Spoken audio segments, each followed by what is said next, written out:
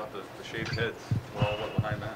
Yeah, so um, we've been raising money uh, with Versus Cancer for uh, pediatric brain cancer, and so we've raised over twenty-three thousand dollars for that um, just over the course of the fall into this early spring, and something that uh, we did at Texas A&M, partnered with Versus Cancer, and um, kind of culminates with shaving of the heads to support. Um, you know the, the kids, and so we, we all went all in on it. Uh, some's going to grow back probably better than others, but uh, fun deal we did yesterday, and uh, just kind of a team bonding deal too.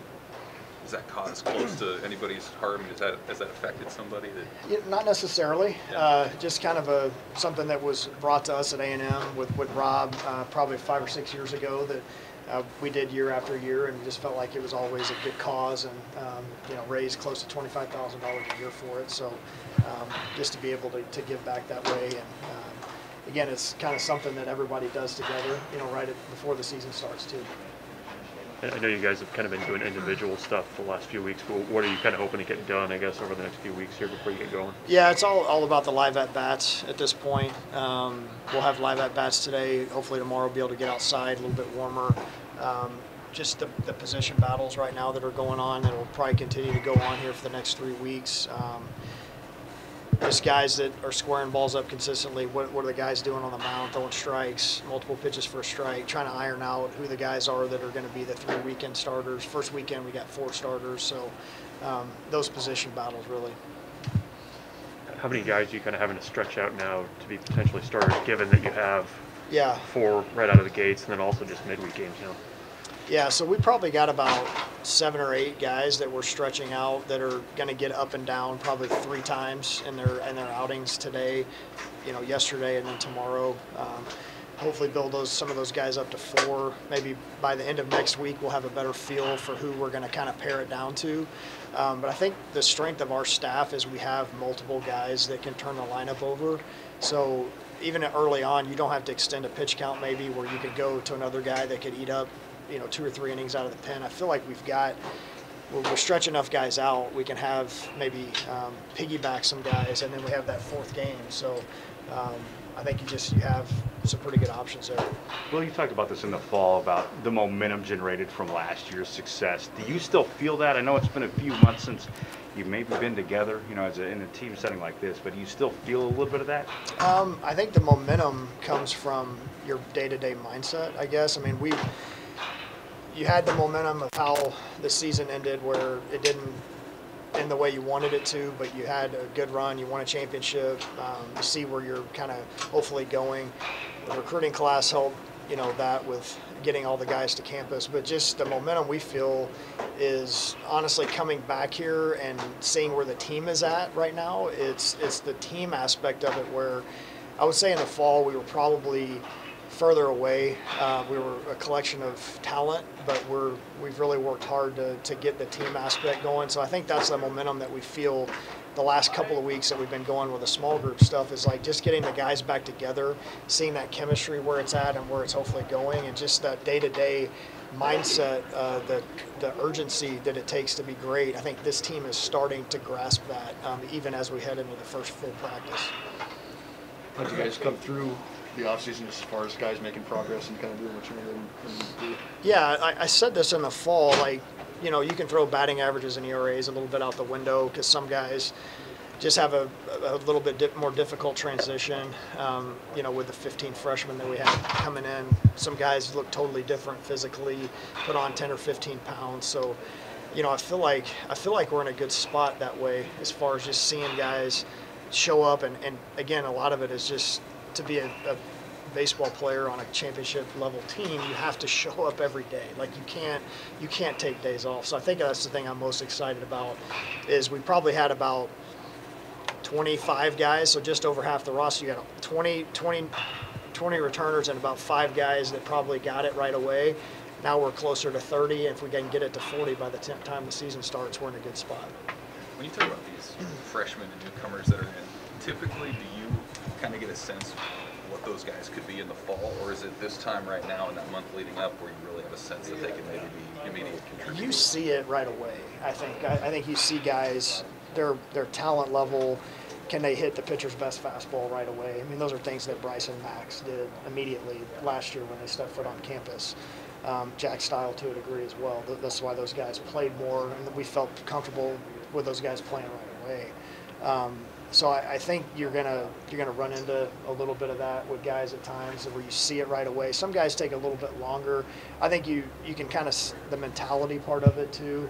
Um, if a guy comes right in and, and blends in well with the team, personality wise, I feel like it's a lot easier for him to to, to step right in and play right away. So um, there's going to be probably at least a couple of freshmen that you'll see early, um, positionally especially. Not saying he's one of them, but what do you see in terms of Drew Christo? Obviously, an in-state guy touted, a lot of options. What has he shown you guys? Yeah, I mean he's he's obviously got the, the talent jumps off the page. I mean the, the fastball's a really good pitch. Um, he's super competitive. He's a great teammate. He's a great student. Great in the community. I mean all the things you bet on when you put a kid in a game. Um, you bet on all that character shining through and coming to the forefront. And we've got talent like that too. I think those are obviously great attributes. So with him, you know, it's a matter of fastball command, not just throwing strikes, but commanding both sides of the plate and then, you know, developing a second pitch. So um, those are things that he's continuing to work on, and he'll certainly have a, a lot of big moments for this team this year, I believe. I guess we're gonna talk, that Max Anderson's role in the lineup might change this year with the departure of the guys who had to leave. Yeah, uh, he he settled pretty comfortably in that five hole last year. Um, for us, I'd say we probably slide him up to make sure he gets up in the first inning this year, no matter what, um, whether it's hitting in a two or three hole. Um, you know, he's learning a new position last year at third base, um, and just seeing him just get more comfortable at it over the course of the fall. Where he's at now is night and day defensively. Um, so he's a guy that you know last year we DH'd at times to get him off his feet um, to maybe clear his head. See him third base pretty much every day. Maybe some first base if we need it, uh, but probably hitting two or three in the order. I guess we're gonna talk to him in a minute, but what, what was different about Shay in, in the fall? Uh, I would say certainly um, less self-inflicted. Um, you know, deal with walks and hit by pitches that, you know, if you give up a hit, maybe it, it turns into a crooked number. Um, I, I think the fastball command. I spoke to that a little bit about Christo. Shay's always thrown strikes. Shay throws more quality strikes now, um, where the glove side fastball away to the, the, the righty. I mean, he can throw that pitch and then throw the, sl- the two sliders off of that. That that is a tough combination. And now he's got a changeup. So the changeup to lefts is a is a kind of a neutralizer there. So he's just you know he's just another year more mature. Um, you know, getting him back to school as a fourth year guy um, has been huge, and he's just um, he's really turned himself into a pitcher. Will, day one, what are the emotions and what do you guys try to get accomplished? Uh, the emotions are we're excited to get better today, um, and we're just trying to. Again, it's I, I sound like a broken record at times, but I'm I'm literally just focused on winning today, and that's what our team. That's the point we're trying to get to. Is where we're as excited about this day as we are, you know, day number 11 of practice when we're all ready to go play somebody else. So, uh, just excited to get going. Are you guys trying to go outside? We were going to go outside. We're going to go outside tomorrow. Sure. Yep. Your expectations are high for this season. You guys won a championship last season and you're ranked in several preseason polls. How are you guys handling the expectations and what is your message to your team? get better today. I mean, that again, that's the message. We don't really talk about a whole lot of things that we can't control, good or bad. Um, I know a lot was made of last year's team, uh, not picked very high, and maybe use that as motivation. I would say maybe initially that was something that was brought up to the team, but I wouldn't say it was something that we talked about ever. Um, it's a different set of circumstances potentially this year with you know the expectations were fairly low last year. We knew internally that we, what we had. This year some national rankings um, you know those type of things. It's like you're never as good as you think you are you're never as good as bad as you think you are. So we got to be in the middle all the time and just be as good as we possibly can on today and tomorrow and then do it again the next day and then again you find yourself in some big games you don't you don't try to rise to the occasion if that's the case so just try to block out the outside noise by having your blinders on and and uh, working hard in the moment i know it again easier said than done but uh, the good teams the great teams can do it How are you guys health-wise going into Health wise, we're in a great spot.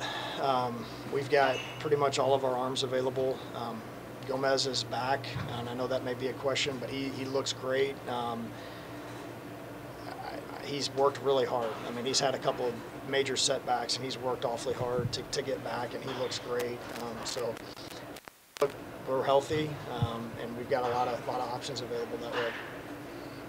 All good with coach. All right. Thank you. Thank you.